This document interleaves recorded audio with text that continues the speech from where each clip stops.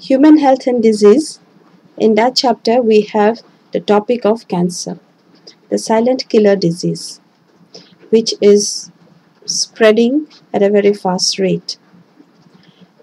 Now, to talk about cancer in this particular presentation, I'll be talking about uh, what is cancer, what causes cancer, what are the symptoms, certain symptoms we will uh, discuss, how to detect and also some of the steps how it can be cured or treated. So to begin with, first we have to understand what is cancer. Now we all are familiar that the different tissues and organs arise after mitotic divisions. When a particular cell divides into two 2 then 4 4 to 8 it goes on dividing and ultimately the tissues and then the organs organ systems are formed which goes on in a very controlled manner. The division goes on in a very controlled manner and the organs and everything goes on quite normally. But sometimes it can happen sometimes it can happen that there is some uncontrolled division. The cells which were dividing in a very controlled organized manner becomes unorganized. The division process becomes unorganized uncontrolled. The cells start dividing increasing in number in an uncontrolled manner without any definite uh, uh, direction that proliferation of cells is known as cancer and the mass of cells that will be formed due to that uncontrolled division is referred to as tumor. So those repeated divisions will result in the formation of tumors. As you can see here, the picture that has been kept here, these are the these violet colored cells, these are the normal cells. These are the normal cells which divided in a very organized manner to form the particular organ or the tissue structure. Now, what happens? Some of them, they start dividing in an uncontrolled manner uncontrolled manner as you can see the difference actually this is a is the part of the same tissue or organ but here suddenly these patch of tissue they start dividing in an uncontrolled manner. So what happens? A tumor starts forming. A tumor a sort of bulge a, a sort of outgrowth starts forming due to it. And those we will call as the cancer cells. So here as it further grows you can see in the second picture as it further grows what happens? It will proliferate. Now it cannot remain within that space. So definitely it will go to invade the surrounding tissues it will go to invade the surrounding tissues where it is not supposed to be penetrating. Those that such growths are known as tumors. Now why does it happen so? Why does it happen so? Why what is the reason main reason behind it? All cells when they are dividing, they have a property which is known as contact inhibition property. Now what is contact inhibition property? Contact inhibition property means the cells, all the cells after dividing, before dividing, they are in contact with each other. They are in very close contact with each other. As they are in close contact with each other, that uncontrolled division is stopped it is stopped. That is known as contact inhibition property. Due to contact between the cells, cell to cell adhesion as you can see here, contact between the cells. So what happens? That uh, the uncontrolled division is stopped due to the adhesion. Of course, here some chemicals play an important role which is little beyond the scope of our discussion presently. Some chemicals are released due to the adhesion of the cells that will prevent the uncontrolled division. That will go on in a very organized manner, the division. Now what happens? Sometimes the cells lose this property. They simply lose this property due to wrong signaling or due to mutation. That is the chemical which I mentioned that is E-cadherin. Now what happens? that gets lost due to mutation of some genes that gets lost resultant that contact inhibition property is lost that property itself goes missing as a result the cell they go on dividing the disrupted cell to cell adhesion that a gap is created between the cell so that adhesion is lost that attachment is lost which will result into proliferation in a very uncontrolled, unorganized manner in the cells, finally resulting into formation of tumors. Now here one more slide I've kept, picture I've kept here to make you understand. This is the normal cell, cell divides, healthy tissue. So this way it is going on in a very normal manner. Now abnormally because the cells have lost the property of contact inhibition. So what happens?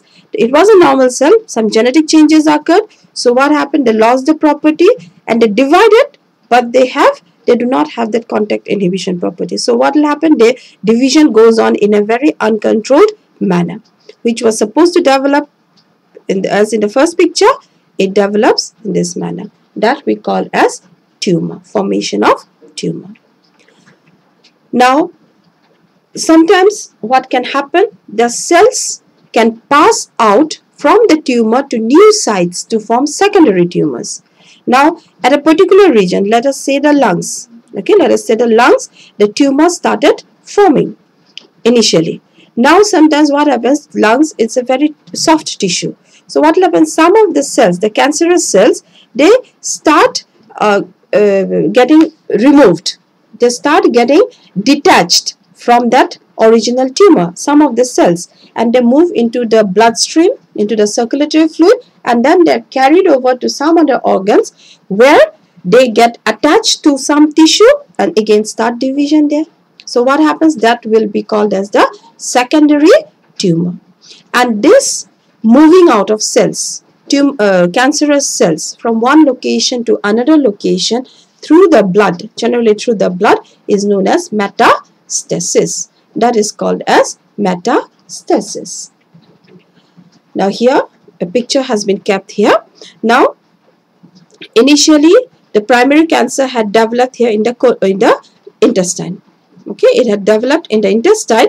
Now what happened in the intestine? It developed but some of the cells they moved out they got slushed off they got separated out and then it starts spreading. That is known as metastasis. Okay it's called as metastasis. Some of the cells they went and what happened? The blood it carried and then they got attached to the liver.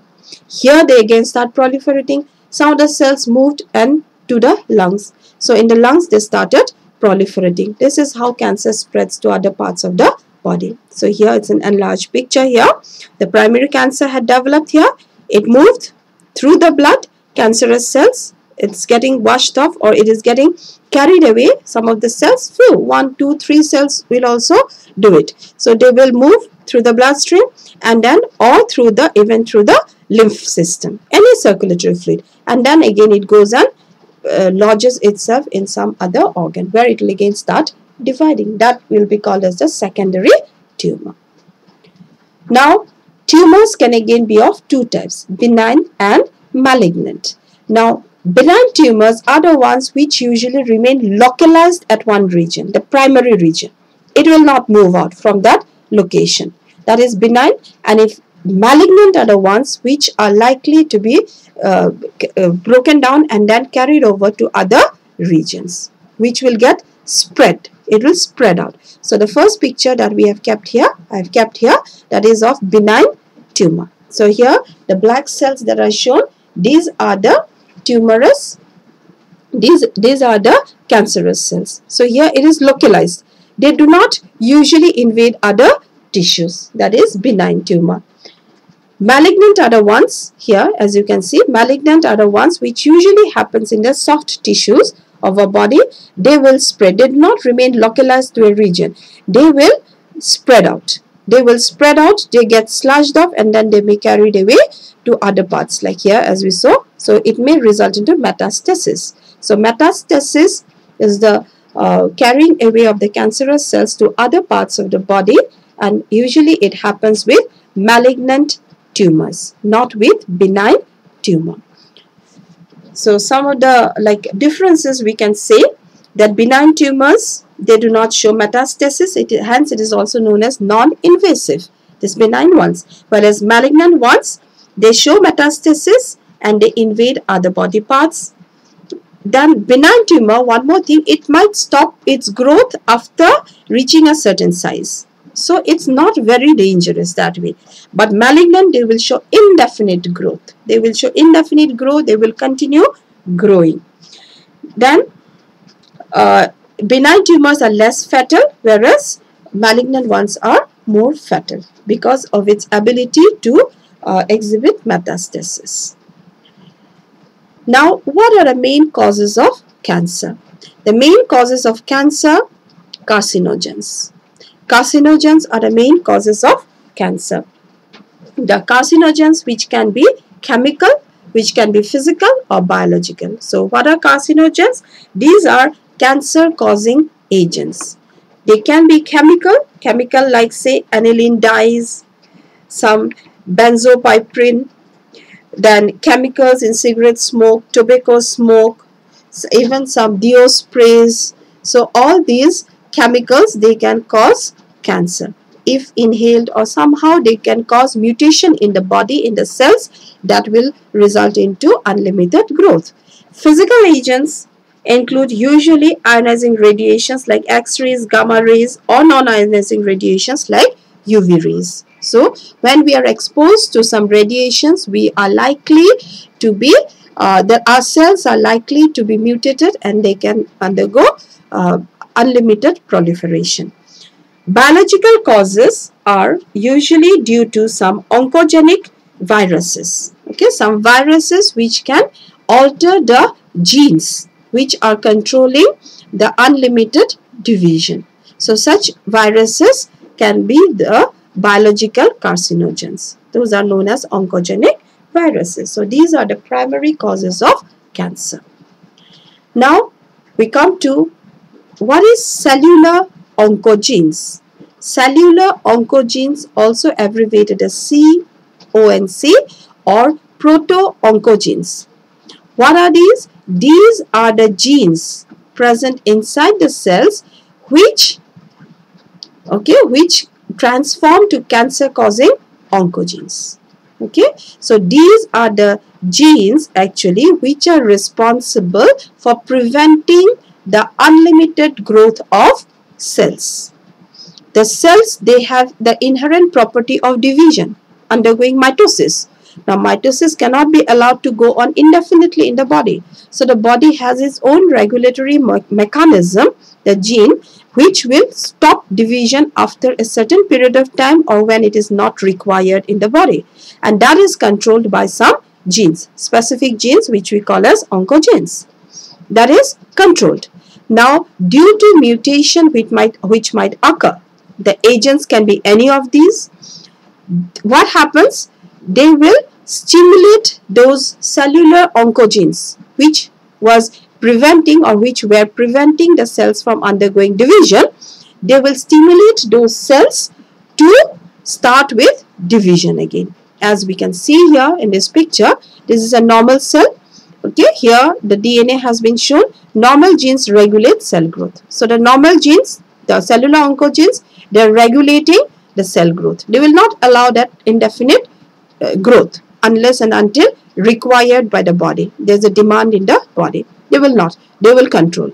But sometimes what happens when we get exposed to these carcinogens, we are likely that the genes will mutate, they will change and then oncogenes accelerate cell growth and division. They start malfunctioning. The genes start malfunctioning and then they again stimulate the cell to divide when it is mutated or damaged. So they will again be stimulated to start with division. The cell starts division.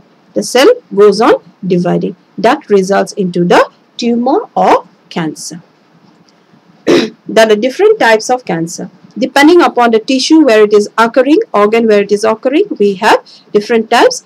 Carcinoma, which occurs in the epithelial tissues, epithelial tissues like say skin cancer. Melanoma, melanocytes of the skin okay the melanocytes of the skin are in fact uh, like are affected that type of cancer is known as melanoma sarco sarcoma that is in the mesodermal tissue in the mesodermal tissue that is below the epithelial layers when it occurs we will call such type of cancer as sarcoma then leukemia and lymphoma when it in when it happens in the blood cells. If the blood cells they are undergoing proliferated divisions then we will call them as leukemia or lymphoma. Now how are how is cancer detected? If a person is showing certain signs and symptoms, now how to detect whether actually it is due to cancerous growth? The first type of detection or test is one type is there are different types of tests. One among them is blood and bone marrow test. Blood and bone marrow test. Now in bone marrow test, what is done? The bone marrow, the bone marrow as you can see here from the hip bone, okay, uh, biopsy needle is inserted. Needle is inserted into it, it through the bone into the bone marrow and some marrow cells are taken out. Marrow cells are taken out and those are tested whether the uh, unlimited growth or uncontrolled growth is occurring in them. Likewise the blood count can be taken uh, for to check the increased cell counts in case of leukemia. Usually this is done in case of leukemia and lymphoma then the second type of test that is histopathological study and biopsy. In this, what is done in biopsy? A piece of the suspected tissue, suppose an organ, say a part, uh, the throat, there is a, a, doubt that maybe a cancer in the throat start, has started developing, then a piece of that tissue is cut out is cut out of course it is painful that piece of the tissue is cut out and into thin sections it is stained in the lab and then it is examined under the microscope. It is examined under the microscope whether it is dividing normally or it is dividing abnormally. That will determine whether cancerous growth is actually occurring or not. That is known as histopathological study. Histo means tissue. So pathological study and biopsy. Then the next type of test which can be done that is monoclonal antibodies. Now in monoclonal antibodies, what is done? Antibodies against cancer specific antigen. Okay, antibodies against cancer specific antigens are used. That is, when a cell has got transformed to become a cancerous cell, it starts releasing some proteins on the surface because it is dividing abnormally. Okay, so definitely some abnormal things will happen there. So some proteins are also released on its surface. So those type of, it is already predetermined. It is predetermined and we call them as antigen. Okay, they are not pathogens which has entered into the body but developed by the cancerous cells. So what will happen? There will be, uh, the, the, uh, the type, the pattern is noted down. Accordingly, antibodies are created. Those antibodies are inserted into the body and then it is checked if it binds or not. If those antibody binds with that antigen with that cell, that means what? It shows that that is a cancerous cell. So this is in a simple way, in simple terms to explain what are monoclonal antibodies for detecting certain types of cancer. Then the next type of detection is through radiography. Now in radiography, it is X-rays. So it is a radiography machine. So X-rays are used to detect cancer of internal organs. Like say here, this is an x-ray, this is an x-ray film which has been taken. Okay, here it is showing, okay, of course it is not very clear out here, but here it is showing that a cancer has started developing in the lungs. In the lungs part, a cancer has started developing. Through x-rays also it can be detected. Then the next type of test, quite advanced, is computed tomography. Now in computed tomography, this is the computer CT scan, what we call commonly as CT scan. So this is the machine where it is done. The person is made to uh, enter into it, okay, enter into it and then X-ray, same. Principle remains the same, x-ray. In the radiography or the two-dimensional view, here what will happen? X-rays will give three-dimensional views, images of the internal organs, of our internal organs. So here you can see this is okay the left and the right part. So the left here an abnormal growth has been seen. This is a three-dimensional st structure. Here an abnormal growth is seen. So the right side there is no abnormal growth only in the left side. So it shows the cancerous growth. Then the next type of detection which can be used detecting uh, instrument which can be used is resonance imaging. So here in resonance imaging what is done non-ionizing. Here also the machine looks quite similar with CT scan machine. Okay here what is done the person is made to enter into it non-ionizing radiation and strong magnetic field. Strong magnetic fields are used to detect pathological and physiological changes in the living tissue.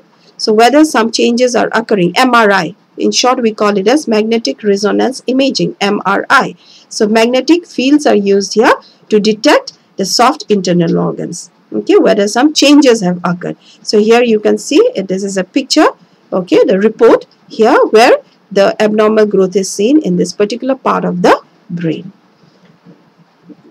So those were some of the uh, methods which is used to detect cancer. Now coming over to treatment. How can cancer be treated? Different ways. One is surgery in surgery, what will be done if it is detected that a cancerous growth is occurring in an organ? Then, through surgery, that particular part will be cut off. Like say it is the abnormal tissue, it will be cut off. Now, care is taken that some additional tissue is also cut off. Why? Because one or two cells might remain. One or two cells also which are which were undergoing abnormal growth, if it remains back, it will again start the cancerous growth. So what is done? The margin is usually like bigger. The part which is cut off is bigger than the actual uh, uh, tissue which was showing abnormal growth. so this is through surgery. Surgery will be followed by other types of treatment also which we will be talking now.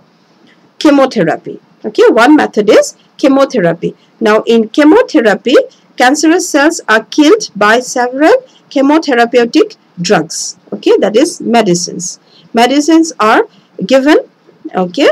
They are usually they can be uh, orally or even injected into the body chemotherapy and then they uh, they are they will kill the cancerous cells. Here you can see this is the cancerous cell. So after chemotherapy what pre prevents blood vessel growth okay? Will stop cell division replication process causes spontaneous cell death or sometimes it might kill the cell death. That means the ways, the principles, different principles can be applied depending upon the medicine that is uh, used. Creates a non-dividing cell by altering the cell structure. So, chemotherapy treatment can involve different types of principles.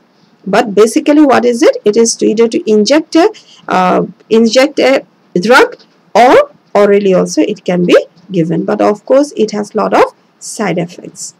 Then the next type of treatment is radiation therapy. Quite common. Okay, we are very familiar with it. In radiation therapy, an, an irradiation of the tumor cells is done. Specifically, the tumor cell is targeted and a very high dose of radiation is uh, targeted at that particular uh, uh, uh organ where cancerous growth is taken, taking place so that it will burn out the, those cells as also the surrounding cells thereby uh, do away with the cancerous growth. Then the next step is immunotherapy. In this method okay in this method what is done? Some uh, biological modifiers like interferons are used which will activate the immune system and help in destroying the tumor. So here these are activated T cell natural killer cell macrophages genetically engineered T cell okay? So this way or some antibody dependent cells. So what will happen? These type of cells okay? This type of chemicals modifiers or particles proteins they are injected into the body which will activate the immune system such that they will recognize the abnormally growing cells and then kill those as they are behaving in an abnormal manner so that is known as immunotherapy. Now, cancer, it is spreading at a very fast rate.